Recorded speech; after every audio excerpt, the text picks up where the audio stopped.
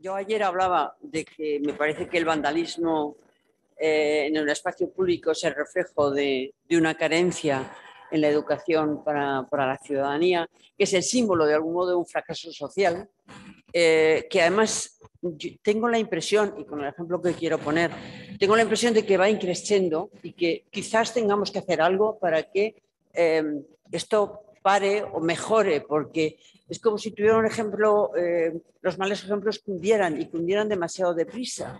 Y entonces quería ponerlo de relieve porque eh, este triunfo de lo individual sobre el colectivo, este, este, olvido de las necesidades que tiene la convivencia. No sé si, entonces había, he recogido de, eh, de, la prensa de últimamente un mal ejemplo de un sitio además donde, que está al lado de la oficina y al lado de mi casa, que es el ejemplo de la Plaza de España. Eh, se abrió al público, ha estado tres, años en, obras, tres años y pico.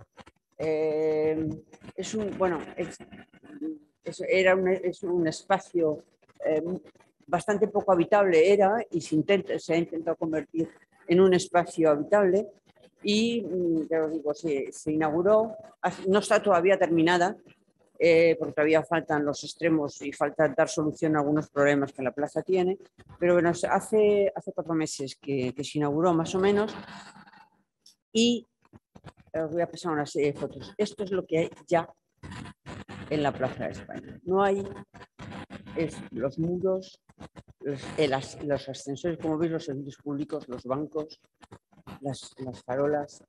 No, he podido sacar, hay unos toboganes, hay una zona infantil bastante importante. Eh, las bajadas de los toboganes están todas ellas eh, vandalizadas ya, están ya con, dibujos. Y en, prensa he recogido, los vecinos aseguran, lo tengo por escrito, tener pintadas por todas las zonas. Estamos en plena Plaza de España, estamos aquí delante del Palacio Real y nos encontramos con este tipo de firmas de esta gente que lo único que quieren es que se les mire su ego, declara un vecino indignado. Piden más limpieza, cámaras de seguridad para evitar este tipo de actos y quienes viajan desde lejos creen que es, da una mala imagen de la capital. El ayuntamiento, por su parte, promete limpiarlos, eh, al igual que con cualquier otra pintada. En el nivel de limpieza, he recogido unos datos, el coste anual derivado de la limpieza de grafitis es de aproximadamente 2.645.000 euros, pero varía cada año en función de las necesidades. El costo diario aproximado de limpieza es de 10.780 euros. Se destina a este trabajo 28 operarios con 24 vehículos para poder llevar a cabo esta labor diariamente en todas las zonas de la ciudad de Madrid. Para el año 2020, el Ayuntamiento de Madrid aumentó el número de sanciones por grafitis y también el importe de las mismas. Entre diciembre perdón, de 2019 y enero del 20 se registraron 76 expedientes sancionadores, de los que 27 fueron en el distrito centro. Eh, el levantamiento, bueno, las denuncias es competencia municipal, pero en 2019 se produjeron 52.338 servicios de eliminación de pintadas y se eliminaron 345.115 metros cuadrados desde enero hasta septiembre. Eh, os he visto las, eh, bueno, hay unos planes municipales de, de limpieza, es decir, existen planes de limpieza, existen normas, existen multas, no obstante, los grafitis crecen día y día.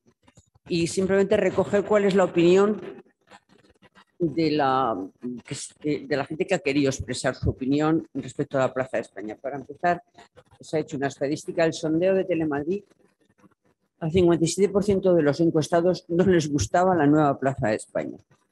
Eh, comentarios. Una pareja de Múnich, Alemania, dice, paseo por esta parada casi obligada para cualquier turista. Teníamos unas expectativas de esta zona por las fotos que habíamos visto en las redes y los grafitis hacen que se vea mugre, como sucio, opina la mujer que ya se había fijado en las pintadas antes de ser preguntada. Habíamos comentado qué es lo que le pasa a Madrid, que no la cuidan. Dice, en relación con las múltiples pintadas que se ha ido encontrando por todo el itinerario en la ciudad. Eva pasa, persona, pasa por su, su primera tarde en la renovada Plaza de España.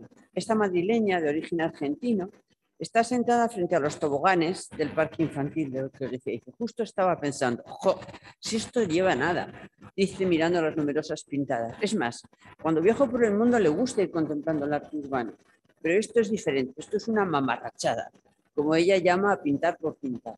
Sería el ejemplo de la firma sobre las piedras de granito que no es arte, sino vandalismo, según ella.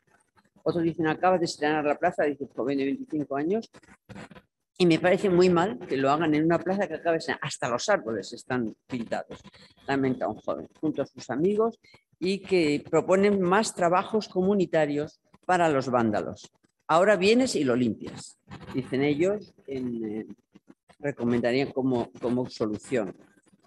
Eh, Antonio, de 40 años, el equilibrio entre la libertad de expresión de los grafiteros y el respeto a las zonas comunes pasa porque se realicen en espacios consensuados con el ayuntamiento. Las firmas, como la de la foto, no tienen sentido más allá de edulcorar el ego de algunos. Jorge también cree que las pintadas son un destrozo porque no tienen en cuenta la opinión de toda la gente. Si bien le parece bien cualquier forma de arte, esta debe ser en un espacio dedicado y no que ensucien este ascensor que es de todos dice este señor de 59 años que trabaja en el entorno de Plaza de España. Si este vecino se encontrase con el autor de la pintada, le pondría a hacer trabajos de pintura en zonas comunes para restaurar fachadas, por ejemplo. Em, una persona sentada en el banco me desagrada por la sensación de suciedad.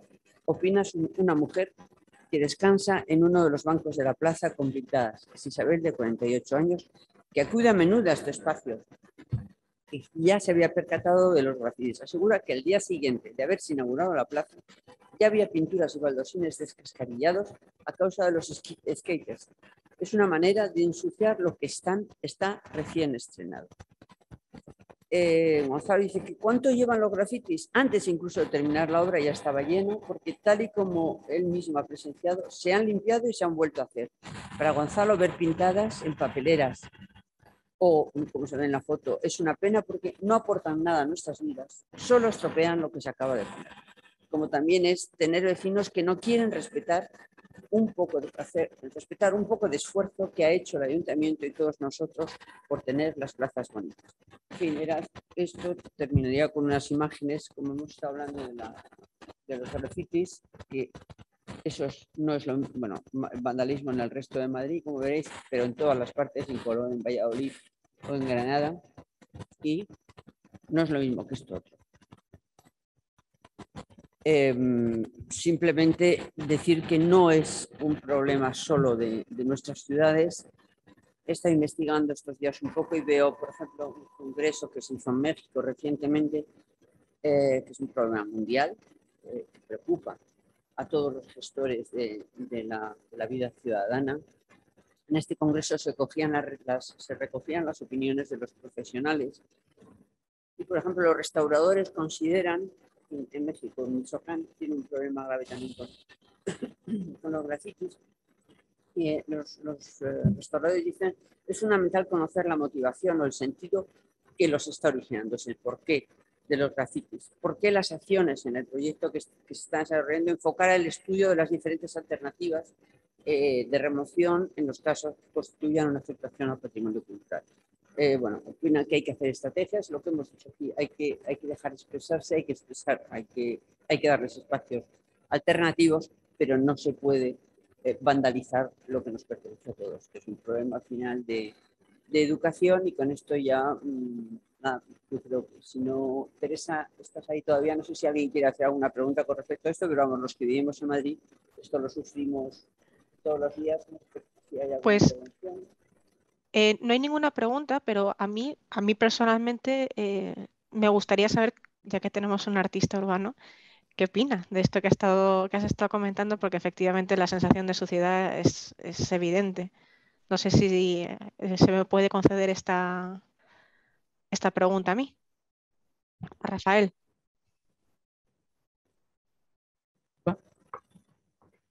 ¿Cuál es tu opinión acerca de lo que, lo que sucede en Plaza de España? Bueno, en Plaza de España o en general cualquier sitio ¿Los, Eh, graffiti o la firma o cómo? Sí, Es vandalismo realmente, claro. Claro, es decir, es que creo que mm, eh, enfocamos el problema sin entender que el graffiti nunca nace como una forma que quiere ser cómoda y reconocida como arte para no molestar. Miguel Ángel Soler es un autor de, rap, decía en una, en una canción, el graffiti son las caries de las ciudades. Es decir, cuando el graffiti nace en Nueva York, eh, que luego hay como una- un segundo nacimiento en Sao Paulo, muchos años después, ¿no? Con unas formas diferentes de hacer acordes al, al espacio inhabitable de las grandes ciudades, es decir, no empieza tanto en, en las pequeñas, los pequeños espacios, eh, no nace para agradar, nunca se ha postulado para agradar. Entonces, claro, esa contaminación visual existe. Cuando remarcamos, no es lo mismo un mural ¿no? o un graffiti que tenga una forma, ya sea figurativa o abstracta, más elaborada que lo que puede ser la, cali- la caligrafía del tag, ¿no? de, la, de la firma. Obviamente no son lo mismo, claro que no lo son.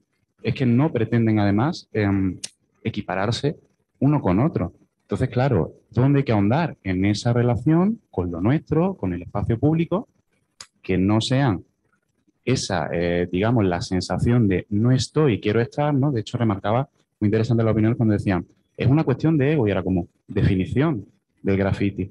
Eh, incluso el, nombre de graffiti lo, daba la prensa, ¿no? Era writing, escribir. ¿Y qué se escribía?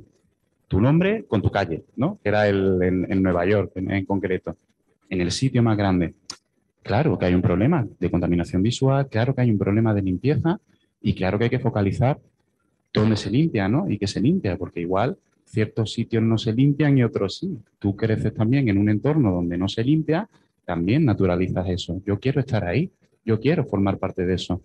Claro, son esas iniciativas para trabajar. ¿Cómo hago que el entorno sea acogedor para no querer imponerme a él, ¿no? Para poder construir en él, para poder construir desde él. Eso es lo interesante de todas estas iniciativas y, acoger el problema con la realidad que tiene, entendiendo, ¿no? Antes lo decía el compañero con TikTok, ¿no? Yo hasta ahí no llego, pero por lo menos veo dónde estáis. Bueno, pues ver dónde se está, porque ya hay un marco legal, es decir, es que eso ya es ilegal, hay un eh, ese es el componente, no quiere, no es ese, no quiero hacer, quiero hacer la firma aquí porque sé que está molestando el que hace ese tipo de, de trabajo, ¿no? Entonces, bueno, mi, opinión eh, no puede intervenir el espacio público sin un permiso, es que es un delito, claro. Ahora, que me guste o no me guste a nivel personal, yo, por ejemplo, no hacía firmas, me gustaba hacer murales. No tenía sitios para hacer murales y encima tenía la desventaja de que si tuviera que salir corriendo, eh, no, era, no era muy atleta yo. Cuando iba cargado con un mural que tardaba tres días en hacer, dos escaleras, había estado tres fines de semana trabajando en una discoteca para pagármelo y lo estoy haciendo a pleno luz del día, eh, siendo un chaval de 15 años haciendo un mural de tres metros. Pues, hombre, si viene la policía, hasta te da risa, ¿no? De, qué se cree usted que me escondo, ¿no? Es decir, ¿qué, qué clandestinidad busco? Ninguna. Es decir, eh, a, a nivel personal, pues un problema que lleva muchos años, no se resolvió en Nueva York, hay grandes antecedentes de cómo se ha abordado en otras ciudades, ¿no? Sao Paulo la gente se ponía en peligro, se ponían a hombros, uno encima de otro para llegar más alto. Problema social como cualquier otro, pero que obviamente ellos no están ubicados en esa, en esa dicotomía, no existe en realidad. muchas gracias por la respuesta. Pues eh, si os parece, damos paso a la clausura, Araceli. Y antes del, del alcalde, simplemente de deciros, mm, repetir una vez más lo que decía ayer cuando inauguramos estas jornadas. Gracias. Gracias, ha sido excepcional. De verdad, alcalde, gracias al ayuntamiento, a todos. Al alcalde, a Marino, a Carlos, que era, lleva, lleva en su sangre, eh, lleva Alcalá la Real en su sangre, vamos, no es el mejor diplomático que, que se puede tener, trabajador, inteligente, impulsador, de todos nos ha, nos ha dado, además, bueno, el descubrimiento que nos has hecho ayer, nos, bueno, ya vol- volveremos, pero no tenemos trabajar. Volveremos, sí, pero a, a una nueva, espero, a una nueva jornada eh, relacionada con, con, el, con la educación, pero gracias a todo el ayuntamiento, a los concejales que os han ayudado, fundamentalmente al gran equipo técnico que tenéis.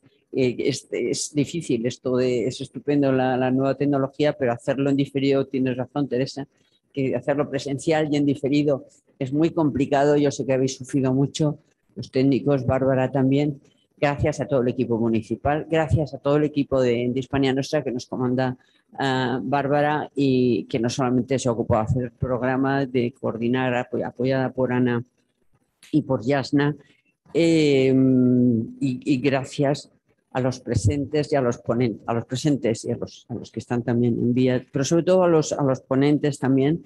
Creo que hemos, para mí han sido unos días, he aprendido muchísimo, no sé vosotros, pero la educación me parece, me parece fundamental, me parece un tema difícil, pero me voy con una gran esperanza. Me voy con la esperanza de la próxima jornada que hagamos eh, de nuevo en Alcalá la Real relacionada con, la educación para el patrimonio. Veremos el tema, continuaremos trabajando. Me veo también contenta de esta relación que existe entre una organización municipal y una, también lo decía ayer, una, asociación civil de la sociedad, eh, de los enormes, de las grandes experiencias eh, que están diseminadas por todo el país de, las de organizaciones de voluntarios y organizaciones sociales que hacen cosas sumamente interesantes.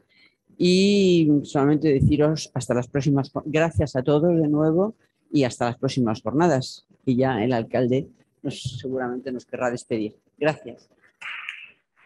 Bueno, bien, buenas tardes. Eh, vamos a dejarlo en despedida media, porque esto va a ser un hasta luego, ¿no?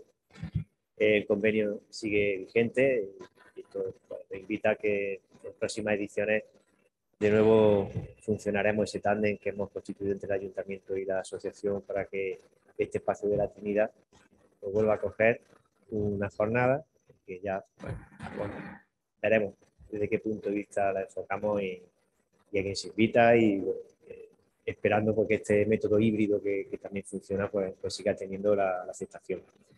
Eh, toca dar las gracias, pues, como ha dicho la presidenta de Acuri, pues, a todos los que habéis venido, a, a los que han pasado por aquí, a los ponentes, un saludo muy afectuoso también a, a alca- a los alcaldes que han pasado por aquí. Y no siempre, la verdad, la, la gestión patrimonial que se hace, la gente no tiene la percepción de que el patrimonio puede tener peso turístico, económico que tiene en un ayuntamiento. Pensamos más en otras cuestiones, ¿no? Hacienda, en urbanismo, pero al final el, patrimonio mueve mucho, mueve imagen, mueve sentimiento, mueve identidad y mueve, y mueve educación. En, andando lo que es esta última mesa, eh, hay una forma de, ayer visitamos la fortaleza de la Mota y visitamos pues, todo lo que se ha arreglado, que, que es mucho, todavía queda. Pero es verdad que se podría haber hecho una ruta perfectamente por aquellas partes que sufren el no abandono, porque la Mota no está abandonada, pero, pero sí los ataques. ¿no? Eh, no tenemos grandes problemas de, de graffiti, hay algunos, pero a nosotros se nos ataca más desde el destrozo del mobiliario urbano, eh, la rotura de, pues, de iluminación, en fin, hay otras cuestiones que no siempre son grafitis, pero que igualmente afectan a la identidad de, de un monumento. Espero que hayáis disfrutado estos dos días en Alcalá. Esto es una ciudad acogedora, una ciudad con una vocación de celebración de congresos. De hecho, eh, ahora que se ha recuperado plenamente la actividad cultural, eh, tenemos este año bastantes más congresos, muchos relacionados con, con la historia, jornadas de, todo tipo y siempre tenemos esa vocación de acoger a, a todas aquellas personas que vienen a transmitir su conocimiento, su experiencia y de todo ello enriquecernos. De todo lo que se ha dicho aquí, hemos aprendido, yo he aprendido como alcalde, Carlos como técnico, todos hemos aprendido y sin duda vamos a aplicar toda esa experiencia, la vamos a aplicar para que Alcalá cada día sea un municipio más saludable, más protegido, más limpio y con una mejor cultura educativa. Quiero también transmitir la felicitación y el agradecimiento de los centros educativos que hayan participado en el taller, les encantó. De hecho, incluso hay alguno que le gustaría repetir con más, con más chavales. Y bueno, eso quiere decir que no todo ha quedado en un enfoque teórico, sino que la práctica también ha resultado muy satisfactoria. Muchas gracias a vosotros. Eh, feliz regreso a, hacia, donde, hacia vuestros lugares. Ahora vamos a tener una última copa y que nos vemos en el próximo Congreso Jornada de España.